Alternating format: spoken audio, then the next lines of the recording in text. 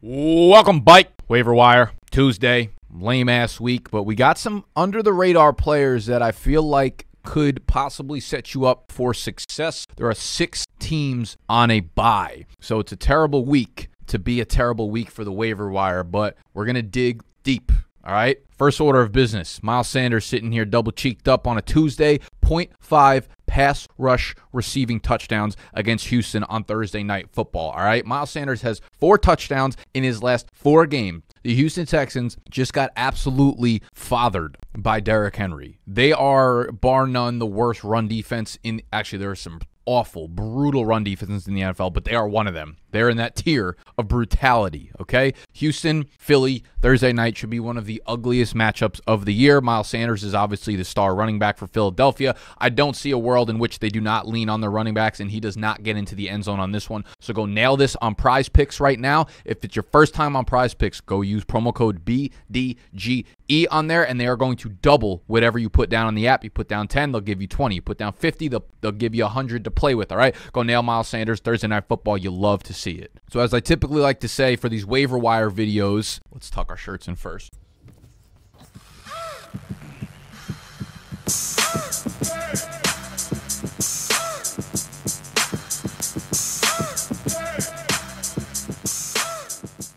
I like to try to tell the story of the week rather than just going name by name and talking about every single player. And there's not much of a story to uh, to tell in this one. This is more like sitting down on the toilet and you're going through light skimming of a magazine, and there's like six pages in the magazine. That's what this week's waiver wire is. It's ugly. I think the first order of business is to talk about the Baltimore Ravens because they had three players go into the game less than 100% and three players leave the game worse than they came into the game with and might possibly miss time going forward. So let's talk about Gus Edwards, Mark Andrews, Rashod Bateman. The only one of which we know is out for this week for sure. They play on Monday Night Football at New Orleans. So they do get an extra day of rest. We know Rashod Bateman is out with a foot injury for at least, I think, two weeks. So his direct backup, I guess, at this point is Devin Duvernay. Devin Duvernay is kind of the next guy up in this wide receiver corps. He's a very different player than Bateman. He's he's versatile. They use him in a lot of different ways. He, he did explode for a rushing touchdown last week. So they get him involved in the passing game. He's already set a career high in receiving yards this year through just eight games. So he's the guy I'd be targeting on the waiver wire if available. Behind him, it's like Demarcus Robinson and um, James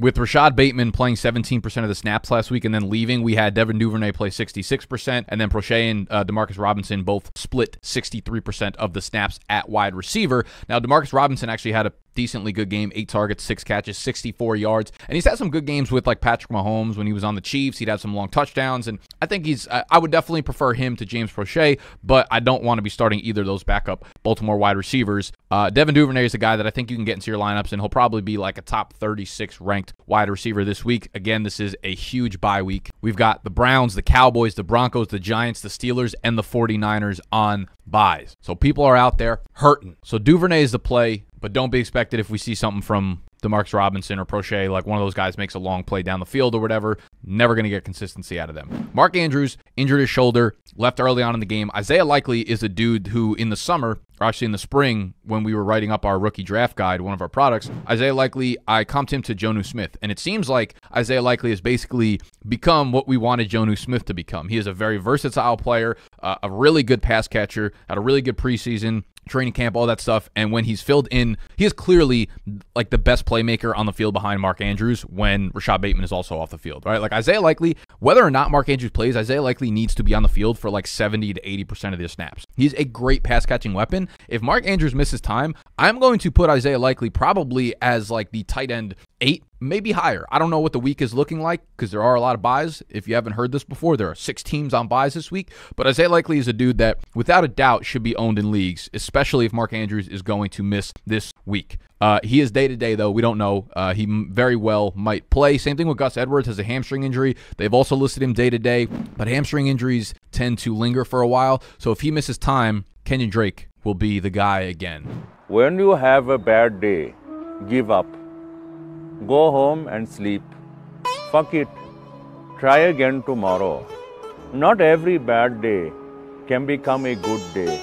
Some days are fucked Fantasy is a motherfucker, man. Fantasy is really a, a, piece of shit game where stuff like that happens regularly. But Kenyon Drake, bike if Gus Edwards misses time. Greg Dulcich at tight end is also playing. Uh, he's running every route. He's not pass blocking. He is the guy right now. So Greg Dulcich is another dude who, if you are out at tight end, or if even if you need a flex play, I feel like he's viable in this week. Actually, take that back. He's on a fucking bye. Shit, never mind. So the only other injury that I think has like a real impact on the fantasy landscape is Mike Williams. Is they're coming back from the bye. They play at Atlanta. Josh Palmer is kind of like the next guy up. People continue to get really excited about Josh Palmer. He's like one of the most mid wide receivers that I've ever seen, and it's like people are like, oh, he's gonna play the Mike Williams role.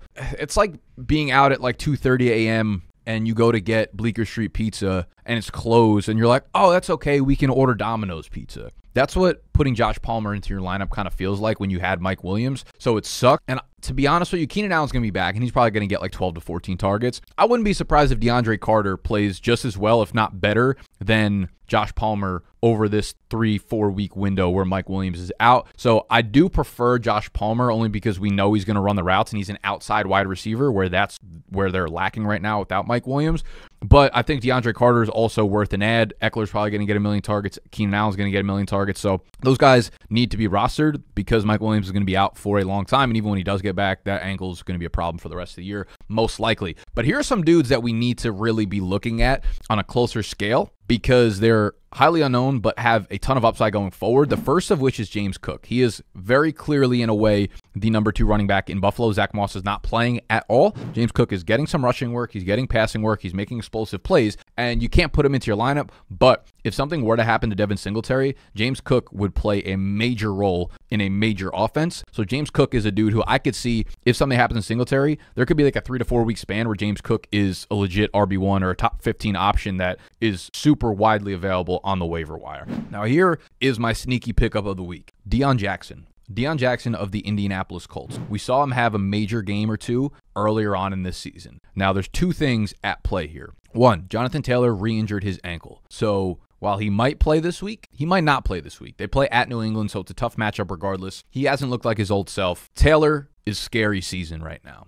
I know Halloween's over, but it's still spooky season for Taylor. Number two, Nyheim Hines. This name is being thrown around vividly for the trade deadline today. So by the time you guys watch this, I think the trade deadline is at 4 p.m. Eastern Time today on Tuesday. Maybe he got traded, maybe he didn't. But if he does get traded, Deon Jackson becomes the pass catcher most likely in this offense. And if something happens to Taylor, Deon Jackson takes over the workhorse role, which we saw him do so really effectively already this season. So Deon Jackson is a dude that you should keep a very crisp eye on. We like Parris Campbell, Alec Pierce in that offense. They're all right, but they, I wouldn't expect much success with Sam Ehlinger. What other sneaky pickups do we have? The Rams backfield right now is an absolute fucking shit show between Ronnie Rivers. Like this is what they they went on their bye week and they were like, the way to fix our offense is to give the five foot seven Ronnie Rivers more carries than anyone in the backfield. I'm not going and, and breaking the bank on Ronnie Rivers. Kyren Williams was activated to return last week, but that also means he still has like a window of a tw- I believe it's a 21 day window in which he can return. So it doesn't mean he's going to be activated this week, okay? He could be activated next week. He could be bad. He could split carries with all these guys and each of them gets 6 carries. So Kyren Williams for sure is a stash because they need some help. They need some kind of spark on the offense right now.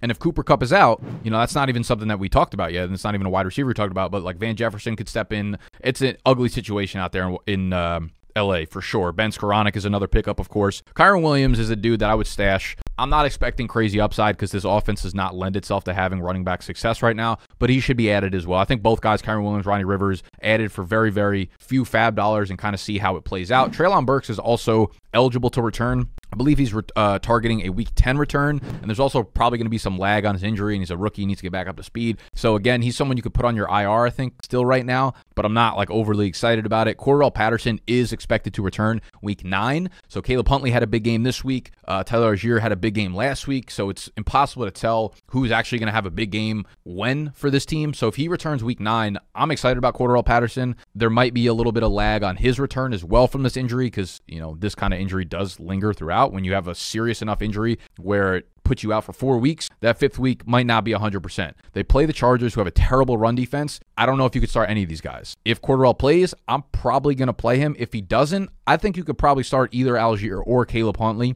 as like a shitty flex play. Again, six teams on bye this week. Hang. That's really all I got. There's no real like deeper dives that I'm excited about in the least right now. Everyone else that people are telling you to pick up are like really highly owned dudes like Rondale Moore and Garrett Wilson and those types. Obviously, if they're available, go go get you some. But yeah, I'm, I'm probably out. The guy, the names that I'm most excited about are these like James Cook, Deon Jackson types that have upside going forward. Again, just keep the eye on the Baltimore Ravens team because their offense is in absolute fucking shambles and they need some playmakers right now. That's what we got for this week.